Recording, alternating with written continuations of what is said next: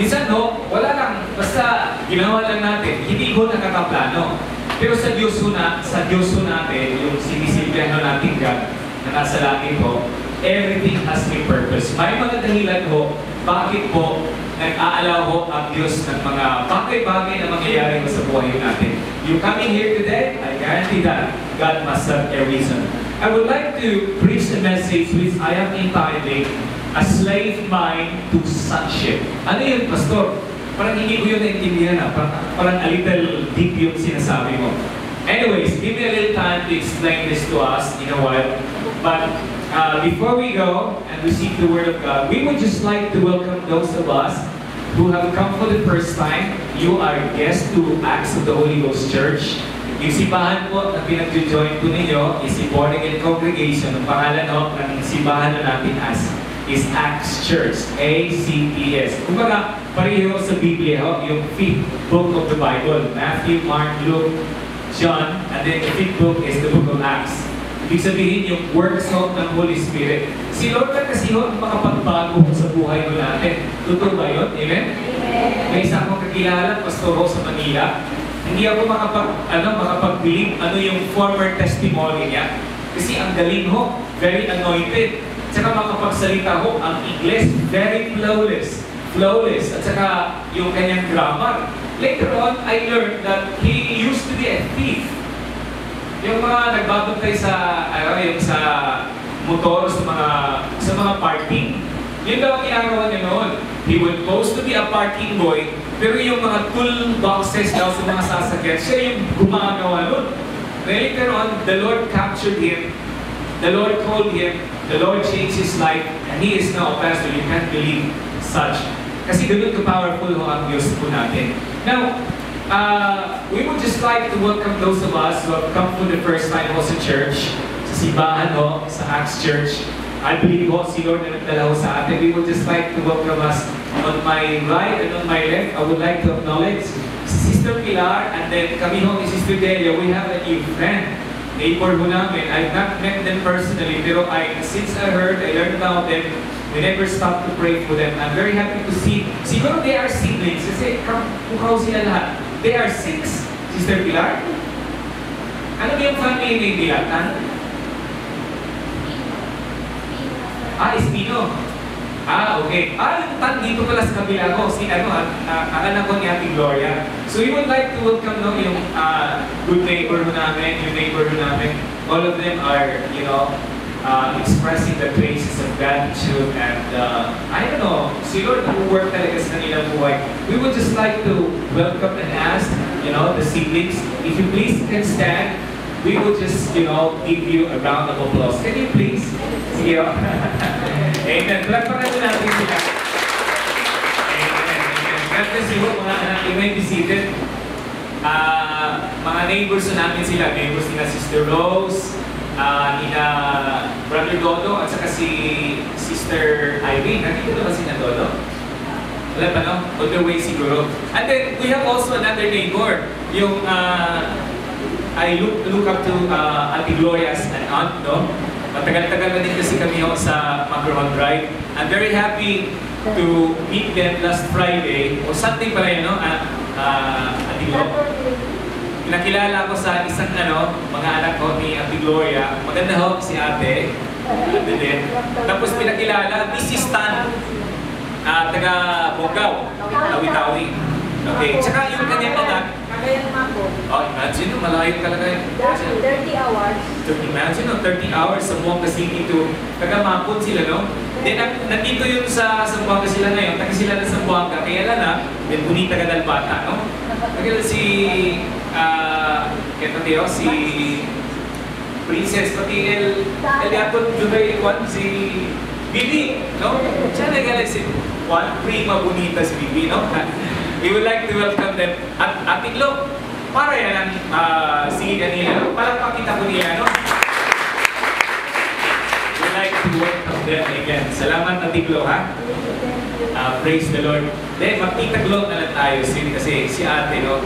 Praise God. We would like to welcome you, ate. Hopefully, to the Tans at saka sa Espino, this is no last and only time we have you. this is how we promise that when you come to us, here's a church, that we will always love you, and we will always care for you and protect you. We, we've been there since day one, pinag-pray namin kayo, and I believe si Lord ho may mga greater things, mga magagandang bagay pa gagawin si Lord sa, sa mga buhay ko ninyo. And thanks be to the living God. Sige ho, bago tayo ho, pupunta ho sa salita ho ng Panginoon, sa very happy to see my nephew, please. The last word. I don't think so. But I noticed the difference is on the line of our attitude. Ang tawag niyan mindset. Sila kasi ho, they think of their no limits in their lives. Wala hong limit ang kanilang buhay. Kasi yun ho, ang promise ho ng Panginoon. Tayo minsan ho, kasi tayo mga Pilipino nasanay na tayo eh, yung kontento na tayo, ang sina lang. Di ba? Yung slave-minded. Kaya I would like to teach this to us, not to become Americans, not to become Europeans, but ituturo ko sa atin ngayong umagang ito sa salita ko ng Diyos na tayo kasi ay tinawag ho ng Diyos na anak. Hindi tayo alipin. Sabihan mo yung katabi mo, sabi mo, anak, ikaw ng Diyos. Hindi ikaw alipin. Okay. Yun, babasahin ko na natin yung sa Exodus 16 verse 3. I included the passage para ho, mabasa ho natin. Hopefully, klaro ho sa likod, makita din sa likod yung contrast ng ano kasi ng, uh, ng lights hindi masyado, no? I would like to lead us in the reading. Here we go. And the people of Israel said to them, Would that we had died by the hand of the Lord in the land of Egypt, when we sat by the meat pots and ate bread to the full. For you have brought us out into this wilderness to kill this whole assembly with hunger. God bless the reading of His word. I will explain in a while. Lapit ko na tayo kay Lord. Mag-pray ko tayo ng uh, Biblia. Ang tawag ko nito ay the Pentateuch or the Book of the Law. They are Genesis, Exodus, Leviticus, Numbers, and Deuteronomy. Ang sumulat ko nito ay si Moses. He was a prophet. Now, pagbasahin mo ito mga, mga kapatid, meron isang ah, uri ng tao na dinidilho ng Panginoon. At sabi ho ng Biblia, mahal ng Diyos. At tinawag ho ng Diyos at binigyan ho ng ating Panginoon ng kanyang kalooban. Ito ho yung the Israelites, the Israelite people. If, if you've not gone to the first five books in the Bible, I challenge you, matapos mo itong basahin uh, only in uh, siguro a week, a week or two, kung if you are fast reader, or maybe a month, or maybe two months. Dabale, uh, siguro six months or one year matapos basahin mo yung five books. Uh, no worries, so long as mabasa ho natin. Now, I would like to, you know, give our attention to the passage sapagkat, you know, yung, uh, yung mga Israelites, they, they were called as the people of God. Meron ho silang attitude ho na dinidil ho ng Panginoon. Sapagkat ho, sa simula pa po, matigas talaga ang kanilang ulo. matigas talaga ang kanilang mga puso. Sabihan mo yung katabi mo, sabi mo, hindi ako yon. No? Matigas ang ulo, matigas ang puso. Na ang Panginoon ho, gumagawa ho ng maraming himala sa kanilang buhay. Binibigyan ho sila ng maraming blessings ni Lord, pero hindi pa din nila makikita yung pabor ng Diyos sa kanila. Tayo ba, pag pupunta tayo sa Basilan, ano yung sinasakyan ho natin? Barko. Di ba? Ah, yung ano ni Cap, yung wisdom ho, yung hydrofoil. Pero kamang-hamang itong mga taong to kasi galing sila sa Egypt, yung story ho ng Exodus, si Moses, di ba panahon ho sa Holy Week, nakikita ho natin yun. Tungkod lang ho ang ginamit ni Moses, hinampas niya yung tubig, yung Red Sea, dagat ho na pula was divided. And in the middle, there was a highway. Malapat ho na highway. Yung mga Israelites, 2 million ho sila, they walk and they cross the waters. Hindi ho sila nagbangka, hindi ho sila nagbarko, hindi ho sila nag-hydrofoil. Talagang kamangha-mangha itong mga taong to. Isang klaseng biyaya na binigay Diyos sa kanila, pero tingnan ho ninyo ang attitude. Sabi ho ng Biblia ho, for 40 years, hindi ho apat na oras, hindi ho apat na araw, 40 years of nasa disyerto sila ang tawag sa Biblia noon. Uh, they were in the wilderness. Wala ho silang makain, pero ang langit ho ay umuulan ho ng, ng isang klaseng pan. Ang tawag ho ay mana. May pan kasi dito, no? Gumagawa, no? Kaibigan ko, yung ano ho nila, yung produkto ho nila, ang pangalan ho ay mana. Parbagang it, it was a, or it is a depiction to what was in the Old Testament. Heaven would fall every day, every single day, a kind of bread. Now, according to Jesus, ito ho ang pagkain ng mga anghel. Tatanungin ko kayo, anong klaseng pagkain kinakain ninyo sa bahay? Pastor, utang sa mga. Kasi hindi mo kao gulay dito. Kailangan kakain tayo. Amen? Pastor, ang palagi namin kinakain, palagi namin ulam, ano? Ah, pehkaw seko. No, numulmura, no? Naman complain. Rende lang siyempre, grasya ko ng Senyor. Pero itong mga taong to, talagang, ah, tawag dito, bukod tangi at saka kamangha-mangha yung kanilang buhay. Kinakain ho nila yung pagkain ng anghel.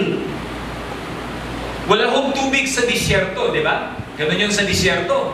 May isa hong malaking bato ho, kinausap ko ni Moses. Yun kasi sabi ng Panginoon, ang malaki yung bato, the Bible said it was a flint, or it was a flintstone, you call it flintstone, but the Bible said it was just a, it was just a flint. Kinausap ko ni Moses, water came out from the bowels of the earth, galing ho sa ilalim mo ng lupa, para hong ah, isang poset ho na ano ho, lumabas galing ho sa sa yung malaking ano, yung malaking bato at uminom sila ng tubig to their full. I tell you, incredible yung buhay ho nila. Sinasamahan, binibless ho sila ng Diyos. But I want you to see how were their attitude. Ano yung mga attitude ho nila, yung mindset ho nila? Titingnan ho natin ang ating sarili sapagkat tatanungin tayo ngayon ng Panginoon. Tatanungin kita, Anong klaseng mindset meron ka sa buhay mo? Anong klaseng attitude meron ka sa buhay mo? Kasi the mindset that you have, yung attitude mo na meron ikaw, that will tell what kind of life you will have. Yun ang maging uh, ayun, yun ang maging ganun sa pamilya mo. Eh, may, may Tagalog ba? Ah, right? That's how your life, that's how your family, that's how everything will become according to your attitude. Importante maguna ang ato ang attitude mga igsoon. Kung sa'y naa sa itong pensamiento ba, kosa se takina di aton dentro di aton pensamiento na corazon. Basahin na natin ha? Talaga. Wag, wag, ni- wag kayong magalit sa mga Hudyo sapagkat anak sila ho ng Panginoon. Sabi dito, And the people of Israel said to them, Would that that we had died by the hand of the Lord in the, in the land of Egypt, when we sat by the meat of pots and ate bread to the full. For you have brought us out into this wilderness to kill this whole assembly with hunger. Nung galing mo sila sa Red Sea, yung nag-parted yung Red Sea, no? Hanggang yung last person, no, ay nakapag-cross na over, masayang masaya ho sila. Si Moses, oh, may isang ate, ang pangalan no, si Miriam. Kumuha ho ng isang ano, tamburin. Tsaka yung mga kababaihan, they started to play tambourines, tapos nagsasayawan sila, nagpapasalamat sa Panginoon. No? Talagang nagpipraise and worship ko sila. Eh, masayang masaya ho sila kasi nakita yung milagro ng Diyos. Lumipas ho ang isang araw. Wala pa po. Sila ho'y nagta-travel, nagjo-journey under the heat of the sun. Eh wala hong tubig. Sila'y nauuhaw. Kulang-kulang yung pagkain nila. Minsan nagugutom sila. Wala pa ho, hindi pa sila nagre-react isang araw. Yung isang tao kasi hindi makakain isang araw, hindi pa yan magre-react. Pangalawang araw, walang tubig, walang makain. Ganun pa din, hindi pa din nagre-react. Sa pangatlong araw, sumabog ang mga Hudyo. Sumabog yung mga Israelites. Nagalit sila ngayon sa kanilang leaders. Alam ko niyo, pag magka, magka-problema, ang tinitingnan talaga ng mga tao, okay, walang kasalanan yung mga leaders, ang leaders talaga ang tinitira, di ba? Sabi ho nila, may threat ho ang Pilipinas na magkaroon daw ng pangatlong EDSA Revolution. Payag kayo? Huwag na. Amen. Di ba? Antes to, ibagsak. Sinasabi nila kay Marcos, wala na si Marcos. Si Cory Aquino na. na si Cory Aquino, ibagsak. Iba, wala na si Cory Aquino, si Ramos. Ibagsak hasta ara kung Duterte. 100 days pa ni Duterte, el mga gente, ch- chene, kelios, no, taal sa mano yan. Ibagsak. So yung leader, sabi ng mga tao, sila huy, pumpulot na ho ng mga bato. Gusto nilang, kaya sila mantangas piedra kun, ano, kun Moses. Aba sila, kosaya. Isa ho sa mga bad attitude ng mga Hudyo while they were in the desert, in the wilderness, palagi ho silang nag-complain. Listen to me. Every time we complain, we do wrong. Maliho. Kahit gaano ikaw mag explain basta magko-complain ho tayo, we do wrong. It's always wrong to complain. Hello, amen? Ang itinuro sa atin ng Panginoon is marunong tayong magpapasalamat. Especially ho, pag nasa kagipitan ho tayo. Di ba? Amen? Sabi ng mga tao, ano ba to? Di ba ang pangako mo Moses, sabi ho ng Biblia, o sabi ho ng Diyos, dadalhin ninyo kami ho sa isang lugar, a land that flows with milk and honey. Sana yung milk, sana yung honey. Wala nga tubig eh, wala kaming makain. Sabi nila, uuwi na lang kami sa Egypt. Kung ba sa ating time yan, magbabackslide na lang ako. Birayan mo yun, na dini, antes, yung dating buhay ko, babalikan ko na lang. Hindi lang nakainom, hindi lang nakakain for three days, nawala na lahat yung pananampalataya nila sa Panginoon. Saan naman yung milagro na nakita ho nila? Na sila ay nag-cross over the Red Sea. Sana yung milagro na nakita ho nila na ang Diyos ay nagbigay sa kanila ng proteksyon. Makikita natin dito yung human tendency ba? Ang tao talaga madali hong makalimot. Totoo yun? Kakalimutan natin kaagad ba? Three days lang nakalimutan nila yung milagro ng Panginoon.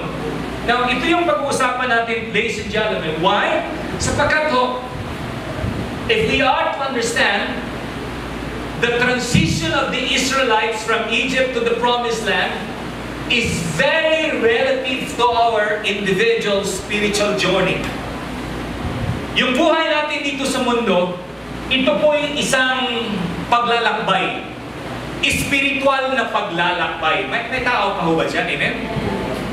Tayo ay naglalakbay, may kahinaan na, kahinaan na tayo, may patutunguhan ho tayo. Sabi ho ng Diyos, ang ating destiny ho ay nasa palad ho ng Panginoon.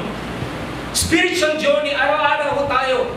Pag may trials, may testing tayo, tayong mani-discourage sapagkat tayo ay naglalakbay, sinasamahan tayo ng Panginoon. Amen? Kapon ho, pumunta ako sa ano ho, sa isa sa mga kapatid natin, yung mother-in-law niya nag-passed away. Si Sister OG. Concern ako sa bata sapagkat hindi na bata si OG, no? Kasi ano siya, parang little sister ko po. Anak ni Sister Gina, nagko-complain siya sa akin. Uh, I must not use the word complain, but he asked me, Pastor, please pray for me. Kasi yung kanyang ah, kanyang kidneys, no, sinabihan nun ng doktor na namamagaw ang kanyang kidneys. Kailangan no, mag-dialysis. Imagine that, imagine that, 39 years old, young mother, sasabihan nun ng doktor, kailangan mo ng dialysis. Para bagang sinasabihan ka na na yung buhay mo, mga 5 years na lang, 7 years na lang. Parang ano yan, yung sinampal ka. Hello, amen? So nag-pray kami, Sister Gina, taliw agad si Ellen, no? She is a good mother. Ang nanay kasi, a mother must be a good mother, a parent must be a good parent when he or she, the father, the mother, prays for his children. Hello? Pag ang parents so, nananalangin sa mga bata para sa mga anak, it's more than just giving 1,000 peso. It's more than just giving toys or ano man yung luhura na, na, na vida.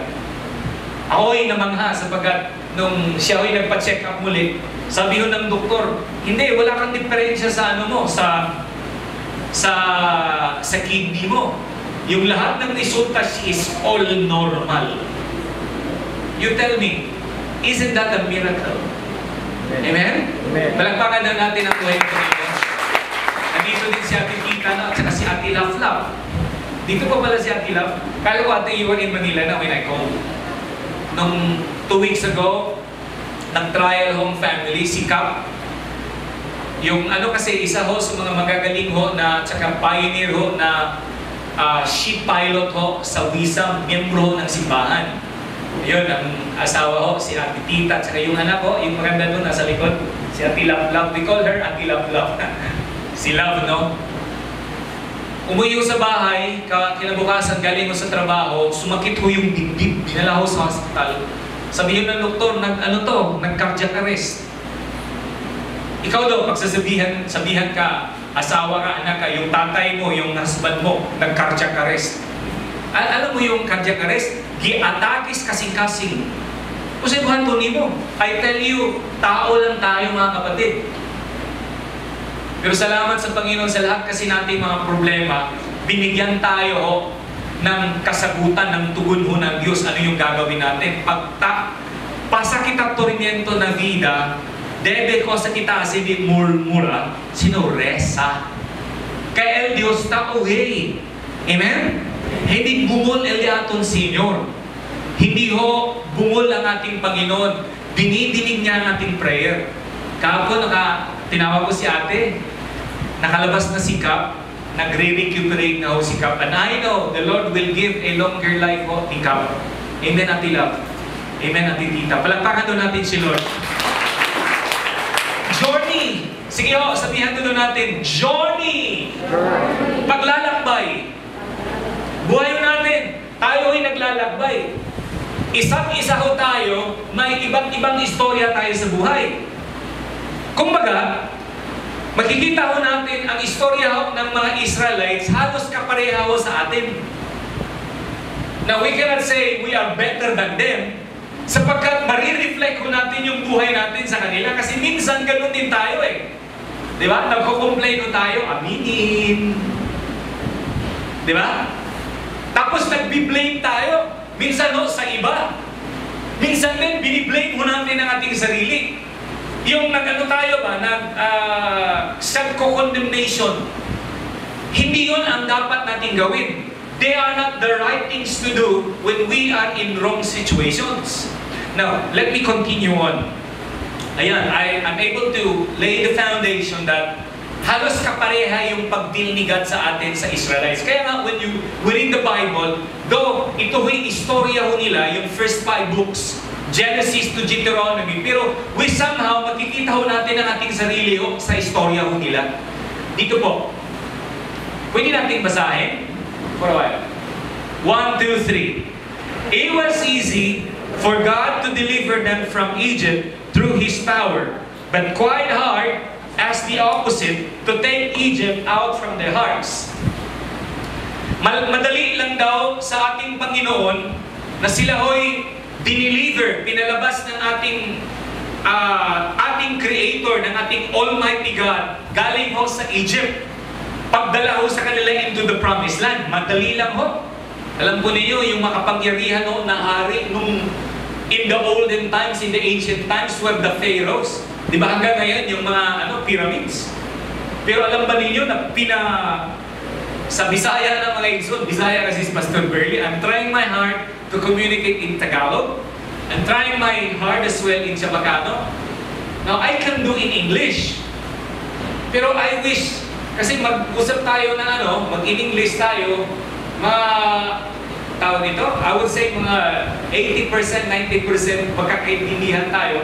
Pero how about the, the 10%? So, I, I like us to be understanding. Anyways, ah, tawag nito, yung, ah, yung sa Egypt ba, the Lord bent the knees of Pharaoh. Yung hari, yung mga pangyarihan ng hari.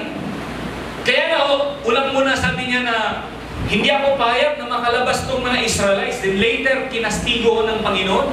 The last trial na binigay ng Diyos sa kanila sa Egypt was yung lahat ng mga anak na lalaki huy namatay.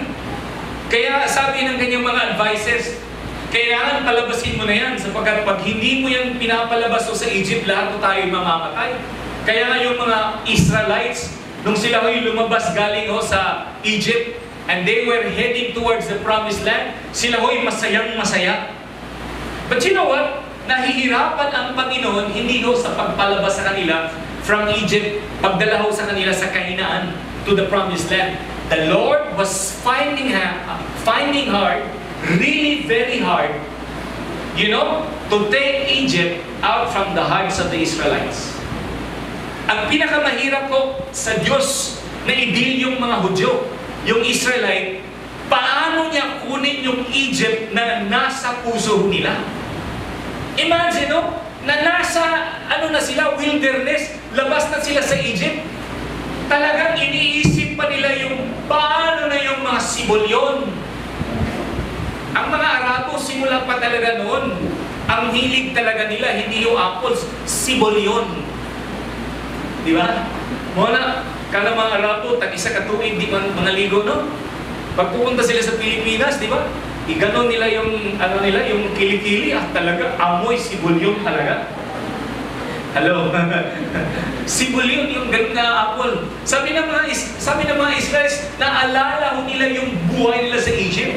Pag sila ho'y nagta-trials, sila ho'y nagte-testings, ang defense mechanism mo nila, sinasabihin nila si Moses, di balik tayo sa Egypt. Hindi na tayo, hindi na kami, no kene kami contigo. Hindi kami kere, sige contigo. Bira na kami ng diamond, bida antes. Parang tayo ba? Tinawag tayo ng Panginoon, may better promise kasi si Lord sa buhay natin. Pero let me tell you, hindi ho lahat ng panahon ang buhay ho natin ay masaya. Hindi ho lahat ng panahon ng buhay ho natin masagana. May mga panahon talaga, yung gaya ng pinag-uusapan natin last Sunday, na tayo ho'y sasagad. Tayo din ay nauubusan. Tayo din ay tinatry, tayo din ay tinitest ng Panginoon. Ang malaking tanong, anong gagawin natin pag yun ay mangyayari sa buhay natin? Tayo ba'y mag-aal sa balutan? Sabihin natin, Lord, hindi na ako magpapatuloy na magsiserve sa inyo. Tatalikuran na kita. Magbabackslide na lang ako. Buti pa noon nung ako'y drug pusher. Antes drug pusher pa iyo. Ben manalang at yusen. Anong tanda yung na, na, na iglesia mo na ganyayo? Kahit 5 5 peso, wala talaga akong pera. Budi talaga, budi talaga. Noon, nung dan, di ba, eh, may mga kakilala kasi, sa kasi ako, no, yung buhay nila noon, at saka binago ho ng Diyos. Nung dancer pa ako sa, sa club, uwi ako sa bahay, marami talaga akong madalaw sa aking mga anak.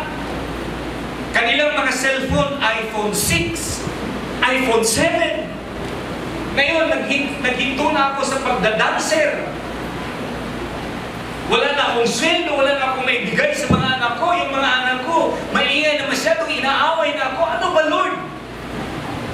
Hindi na ako magpapatuloy magbasa ng Bible, magpipray. Hindi na ako susunod sa iyo, Panginoon. Babalik na lang ako doon sa sa amin, sa, sa ano, estudyante pa kasi ako, hindi ako pumapasok ha. Maririnig ko lang sa mga kaklase ko, doon sa Kiss Me. Ba may Kiss Me karon? Ah, Wala na, no? Sino yung kaedad ko? Ay, yung 44. So, college days ko namin. Yung mga kaklase ko ba, pupunta sa sa eskwelahan, magli-lecture yung mga professor namin. Gumagano no, natutulog. Tapos paglabas, ¿Dónde cree que mo anoche? ¿Por qué como tuyo ara na escuela? Jules, no habla Jules. No habla Jules. Taba kami kisme anoche, Jules. Ayun. So, pareho sa atin ho. Tayo ho. Nagko-complain ho tayo. Minsan ho, nahihirapan ho ang Diyos. Hindi ho tayo matutulungan pag yun ho ang attitude ho natin. Yun ho, slave-minded ho ba? Yung alipin ho ang attitude ho natin. I tell you ladies and gentlemen, hindi ho lahat ng panahon komportable ho tayo. Meron ako isang kaibigan, chief ngayon ho sa PS11, Station 11, yung sa dito sa Pueblo. Siya ho'y anak mahirap. Galing ho sa Dipolo. Ang rango niya ngayon, Lieutenant Colonel. Kaklase ho, ka- kaklase ko sa College Law. Nag-uusap kami. Sinasabi, sinishare niya ho yung hirap na pinagdadaanan niya. Kasi ano siya eh, yung laking mahirap. hindi makapagtapos ng pag-aaral sapagkat yung kanyang parents, so, walang pera, wala siyang choice. Dito siya nag-aaral nun sa, sa, sa Zamboanga. Sabi niya, mag, ano na lang ako, mag-study na lang ako sa PNPA kasi libre man ang tuition sa PNPA. First year pa, may allowance na. Eh, allowance siya, ipapadala niya sa mama at papa niya na magsasaka na nandoon ho sa Dipolo. Sabi ho niya, yung Burl, kasi, you know, nasa college of law kami, we don't call colonel, they don't call me pastor. We are just all but classmates. He would tell me, paano yung, ano ko, yung buhay ko noon, naranasan ko talaga ang pait, yung hirap ko ng buhay. Ganun yun eh. Bago tayo aabot ko sa itaas, sa ibaba muna tayo. Amen? Hindi yun, ano, hindi yun mababaliktad na galing sa itaas at saka bababa. Simulan talaga tayo sa baba, paangat po mga kapatid.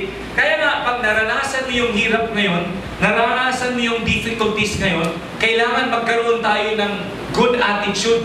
Kailangan magkaroon tayo ng attitude ng anak.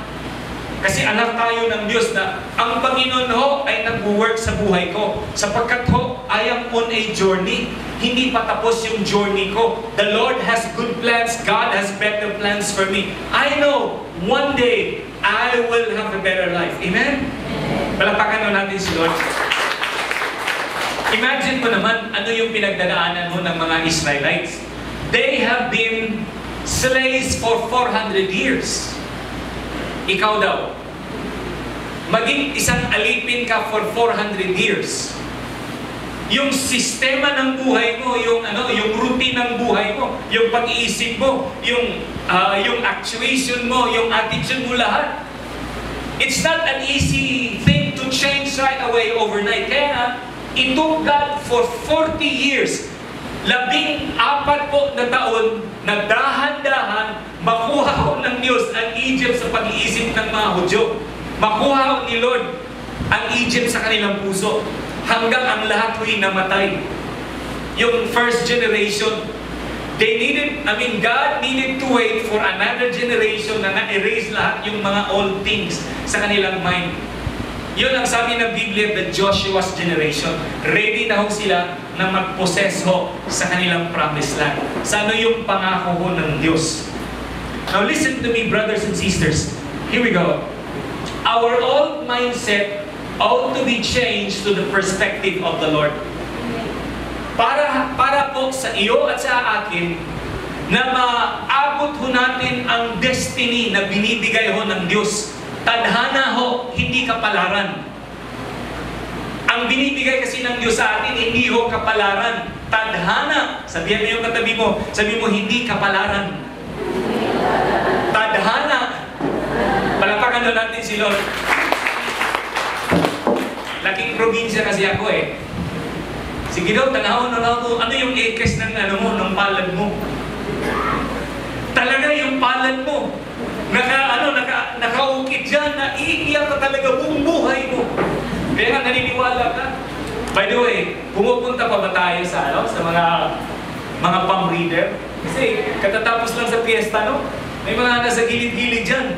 Magbabayad ka ng 20. Isasabi sa iyo ang ano mo, yung future mo daw. Sasabihin ka yung future mo. Magkaroon ka ng limang asawa. At saka yung limang asawa mo, iiwanan ka. Mga kapatid, hindi ho kapalaran. Tadhana ho ang sabi ho ng Panginoon. Sabi ho ng Lord sa atin, God is is planning, God is placing ahead of us a good destiny. Tadhana, maganda hong tadhana. Amen. Gaya ho ni Jabez. Laking hirap po si Jabez sa Biblia ho. Mahirap po si Jabez sa kanyang mga ninuno, ang kanyang na- tatay, nanay, lola, lolo. Isang araw, sabi niya, Panginoon, hindi ako kontento na ganitong buhay ko, hanggang ganito lang kami, Panginoon. Lord, i-bless mo naman ako. Dininig ho ng Diyos sa kanyang prayer. Hindi yung masama mga kapatid na maging isang labandera. Tayong mga anak ko, pag parents na natin labandera, huwag natin ikakahiya yan. Kaysa magbibenta ho ng shabu. Amen. Pero let me tell you, hindi ho hanggang buhay, hindi dapat na sikas Kesyo si nanay labandera, ikaw din hanggang buhay, maging labandera ka din at saka yung ano mo, yung anak mo din at saka magiging apo mo.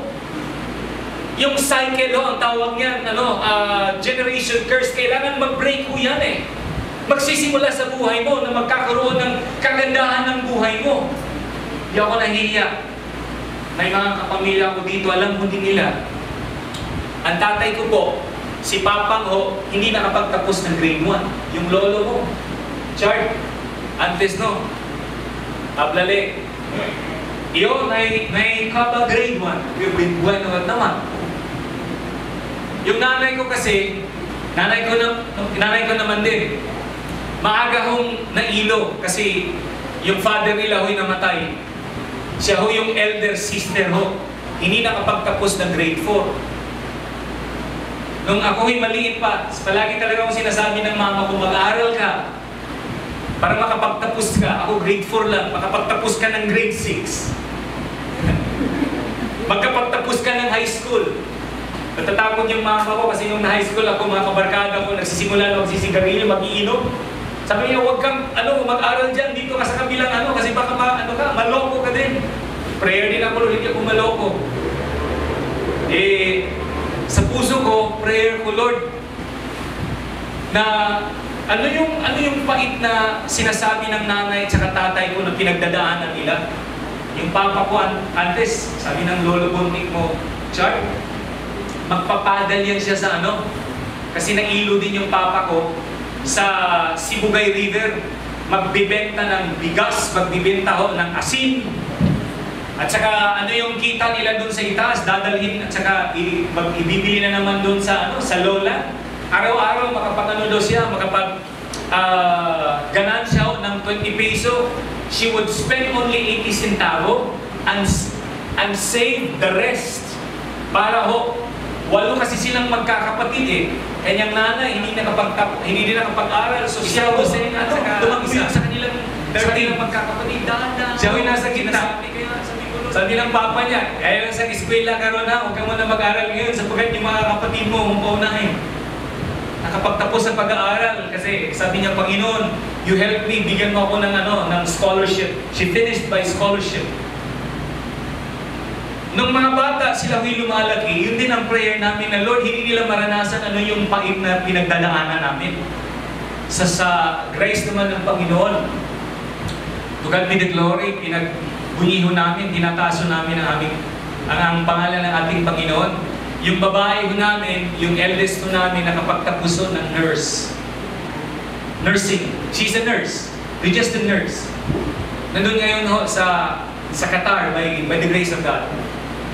Yung pangalawa, yung lalaki namin nakapagtapos din sa medical technology, nagtatrabaho ngayon sa doctor's hospital. Yung pangatlo, yung maliit, yung sinas. Di ba? Yung sa kwento ko, hanggang second year college lang ako kasi nag-asawa ako. Pinapaaral, pinag-aral ako ng Panginoon muli. I was able to finish my first uh, bachelor, yung baccalaureate ko, just recently, mga four years ago. Yung mga kaklase ko, yung mga teacher ko, mas younger pa sa akin. And then by God's grace on March, I will finish my second bachelor's. God willing. I will finish my my uh, my LLB. I'm in my senior senior year level now in the College of Law. And if God be willing, next year, if I can I can take the bar exam and make it on 2018 by God's grace, I can become a lawyer. Mabait talaga ang Panginoon, no? May mga panahon na parang mag-give up na ako, pero salamat sa Panginoon si God, hindi ho nag-give up sa atin. Ikaw, may mga panahon ba na gusto ka give up? Hello? Sa hirap ba ng buhay? Di ba gusto mo nang bibitawan yung buhay, di ba? Noema si Dimas. Bin difícil ka del vida. Mga kapatid, ladies and gentlemen, sabi ko dito, kailangan mabago ho yung old mindset ho natin. Lagay mo yung kamay mo sa, sa, sa head mo, sabi mo, kailangan mabago yung old mindset ko. Minsan nakukuha kasi yan natin sa ating mga parents, no? Antes, jutay pa kita. El nana, tata diaton, si Rabia, si Rabia, my God, nana! Di ba, no 5 años pa kita na boss nana, hasta gra kita grande, na ito yung nana. Di ba, masuko na itong mama, papa. Yung mga, ano, mga guests natin, Destino, you, you, you, you start na to, to learn sa Bacano. Nakaintindi kayo mga anak ng Chabacano. Tagalog lang, no? Pareho, pareho kayo ni Pastor. Binte lang, no? Sabi pa Chabacano, ang nanay, tatay, no? Sinvergüenza nagbobata mo. Grabe mo ng mga Chabacano, no? Sa Bisaya pa. As sa Tagalog pa po, ah, walang hiya ka talagang bata ka. Cinco anyo. Sinvergüenza daw yun. Hanggang lumaki yun, kaya nga, ang buhay yun, parang hindi mo nahihiya. Yun ang tinatawag na old mindset. Sabi, sabi yun ng ano, mag-aral ka, hindi ko kaya yan. Pag magsasabi na kasi tayo na hindi natin kaya, old mindset yan. Sabi ho ng Biblia, I can do all things through Christ who strengthens me. Amen. Kaya natin kasi kasama natin si Lord. Amen. Sabi ho ni Lord kay Moses, ano yung nasa kamay mo? Sabi niya, wala Lord. Hindi, ano yung hinahawakan mo? Ay, Lord, chenegate. Chenetes no, tol, di na kita ah, sa may mga panahon na kakalimutan natin anong meron tayo. Sabi niya, ay Lord, tungkol pala. Ano yung nasa kamay mo, gamitin mo. Hinampas niya yung, yung ah, Red Sea and the Red Sea parted. Anong nasa buhay mo? Anong nasa buhay mo? Ano yung, ano yung binigay na regalo ni Lord sa iyo? Ano yung skills na binigay ni Lord sa iyo? Gamitin mo yun sapagkat yun ho ang yun ho ang way na may-bless ikaw sa buhay mo. Amen? Ilang-ilan mo sa atin, magaling ho mag, magluto, mag, magaling mong magtahi, magaling mong magsalita, magaling mong magsulat. Gamitin ho natin yan para ho aangat yung buhay natin. Amen? Si Aya, no? Sina Kuya Amam. Magaling noon pa talaga yung papa ni Ayan. Pupunta yan dito, umiiyak yun si Eugene. si engineer, papa nito engineer kasi, nasa PPA. Dito sa simbahan, halos kaedad lang kasi namin. Umiiyak, yung anak ko ba pastor, si Wendell. Kisama na si Wendell. pastor, hindi na pupunta sa school kasi dito na palagi sa church. Pastor, inarolong, eskwela ba? Hilig kasi noon sa computer. Kaya hindi hindi noon nakapag-focus masyado sa ano sa school. Now, little did everyone know na yun pala ay gift ng bata. Magaling sa computer, magaling sa photography ngayon, no? They are into professional photography. Sa isang kasalan, no? Pwede mo silang magbigay, ho, ng isang coat, ho. Kasal, ho, yung wedding photography, ho. Okay, we will be your photographer. We will be your photographers.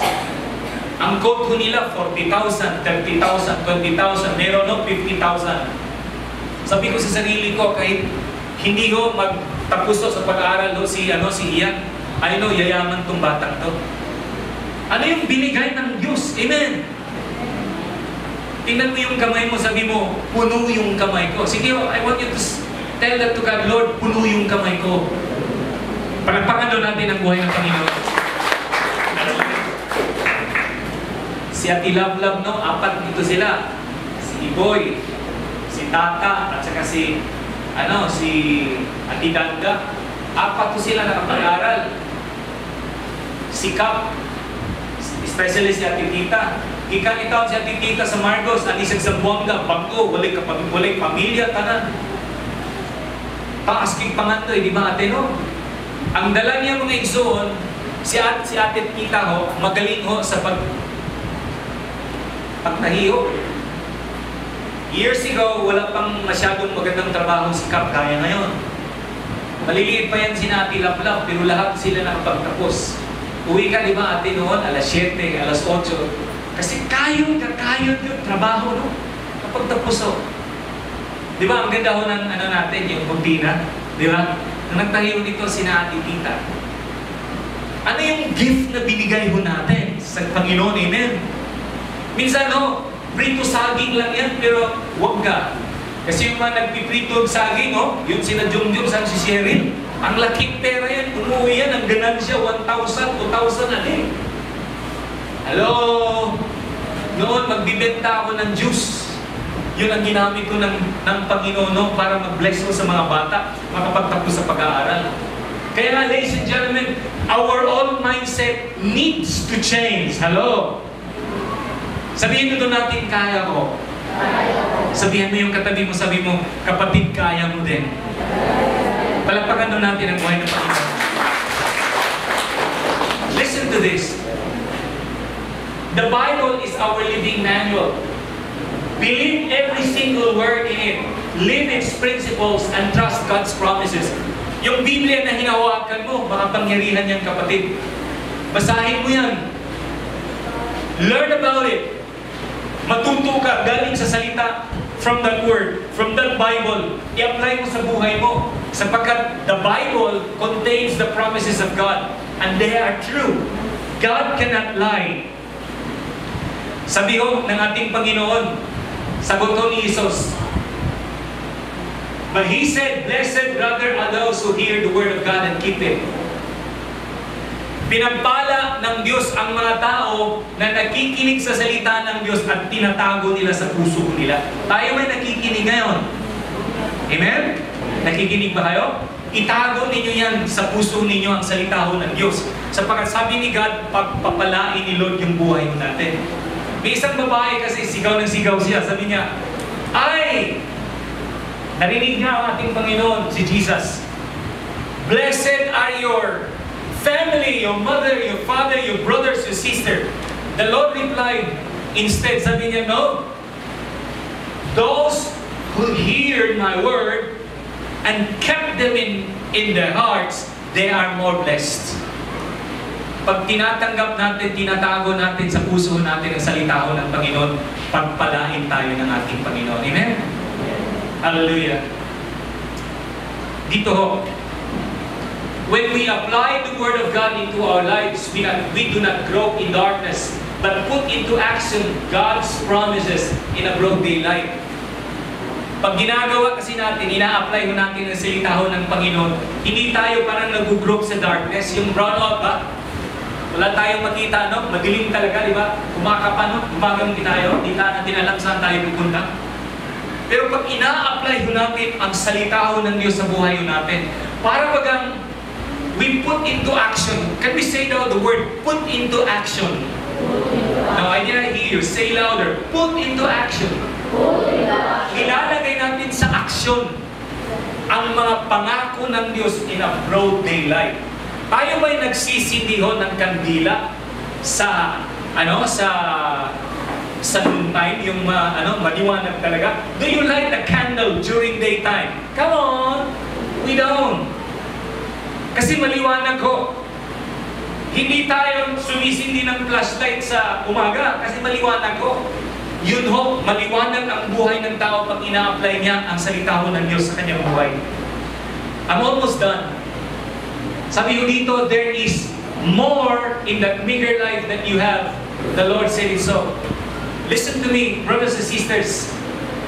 There is more in that simple life that you have. Simple lang yung buhay mo, ano po? Anong meron ka? Saan ka ngayon? Ano ka ngayon? Sino ka ngayon? Hindi hanggang ganyan lang ang buhay mo. May greater plan, may greater promise, may greater destiny ikaw na naghihintay sa'yo sa unahan, i-grab mo yun hawakan mo yun, talian mo yung sarili mo nun. Yun ho ang pangako ng Diyos sa buhay mo. Amen? Are you still with me? Palagpakan doon natin si God. May isa akong libro, first year pa kami noon, ang sumulat si Justice Isagani Cruz. Ganito daw ang mindset attitude ng mga Pilipino. May isa akong ditch digger. You know what is what you know what is a ditch digger? Yung naghukay ng kanal. Tinanong daw ng isang tao, ay manong, bakit ka naghuhukay sa kanal? Di ba, ano yan, madumi ang, ano, tingnan mo yung naghukay sa kanal? Yung mukha, gano'n. Yung damit. Sabi niya, ay, para may pangbili kami sa may pangbili kami ng bigas. Para may makain ako. Para lulusog yung ano katawan ko. Para kinabukasan makapag makapaghukay ako muli oh, ng ano ng ng kanal. Tapos ano ba yung ah, the cycle is repeated. Why are you working as a ditch digger? That I can buy food, that I can be strong, and following day I can continue to dig ditch. Then following, uh, you know, on the at the end of the day, buy food, buy rice, and I can eat. And following day, I can work and dig ditch. Mga kapatid, yung buhay natin na hindi hanggang ganun lang, tagahukay ng kanal. Amen. Hello? May tawa ba kayo dyan?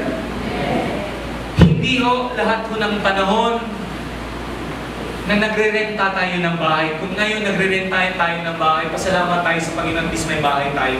Pangako ng Diyos, balang araw, darating din, magkakaroon tayo ng sarili nating bahay. Amen? Minsan ho, naglalakad ho tayo kasi walang sasakyan. Oh, yung nasira yung sasakyan. Kailangan maglakad, ano? Huwag magreklamo. Kusay, sel, klase, dindas eh.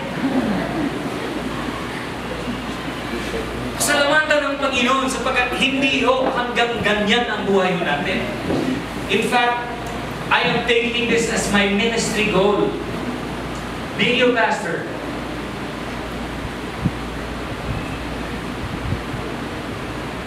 I'm taking it as my ministry goal as your pastor. That is to see yours, your life improve and walk and you will walk in the abundance of the goodness of our Father. May, may sense of satisfaction ako bilang pastoro ninyo by God's grace na makikita ba yung buhay natin na dahan-dahan no, umaangat na hindi ko tayo hanggang ganito lang. Amen? Huwag kang masatisfied mga kapatid minsan makakain, minsan hindi. Amen? Tayo mga parents, huwag tayo masasatisfied na yung mga anak mo natin hindi makapagtapos sa pag-aaral. Prayer ho natin na makapagtapos sila sa pag-aaral. Amen? Hello? I-desire natin ano yung desire ni Lord. Tanggapin ho natin ano yung sinasabi ho ng Bible. I-apply ho natin sa buhay ho natin. Amen? I would like to close by saying, by quoting This is from Mark chapter 9 verse 24. Sabi yun ng tatay, Immediately the father of the child cried out and said, Yes Lord, I believe, help my unbelief. Yung bata kasi may sakit. Sabi ni Jesus, papagalingin ko yung bata. Naniniwala ka ba? Sabi ng tatay, Oo, oo Jesus, oo Lord, naniniwala ako. Pero parang may duda pa siya eh. Sabi niya, Panginoon, kapag may duda ako, please tulungan mo ako na makapaniwala ako 100%. Ang hinihiling ho ng Diyos natin ngayong umagang ito, kondisyon ho ng ating Diyos, naniniwala ka ba sa ating pangako na kaya ba natin sagutin si Lord, yes Lord, naniniwala ako. Kung may pagdududa tayo, sabihan natin si Lord, Lord, tulungan mo yung aking mga aking mga hesitation, yung mga pagdududa ko. Amen? Amen? God bless us all. God bless us all. Naway mga anak ko natin hindi mag-asawa ng maaga. Amen? Ablagot ko nila mga bata. Ng mga bata, huwag muna kayong mag-asawa ng maaga. Amen? Magtapos kayo sa pag-aaral. Magkaroon kayo ng trabaho ng ma, ano, maganda. Maganda kasi yung na uwi ka after work, no? Close in here. First salary mo. For example, si Brother Peter, ang kanyang mga anak ko ngayon, age 9. Pati 10, sister, no? One day, Brother Peter, ilito yung iha, Boldikel, Ma'am, teacher ya ele, no? Takal din yung sweldo, ma'am. 10 anyo siguro kabar, mga ara. O mga 12 years o 15 years. Bigay niya sa mama niya ang kanyang sweldo, ang kanyang cheque at that time. Ang sweldo ho, 45,000. Di ba maganda yan? Hindi yung pag-uwi, ma'am, pasensya mga, May sasabihin ako sa iyo, ma. Ano man yun, buntis ako, ma. Christmas. Tayo din mga parents, magpakita tayo ng good example sa mga bata, no?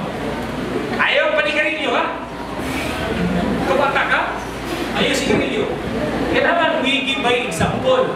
Kamu mga bata, ayaw mag-inom. Kailangan we by, we by example. No? Hello, are you still there? Palagpakan na natin si Lord. Let's all stand. Tagay tayo tumayo.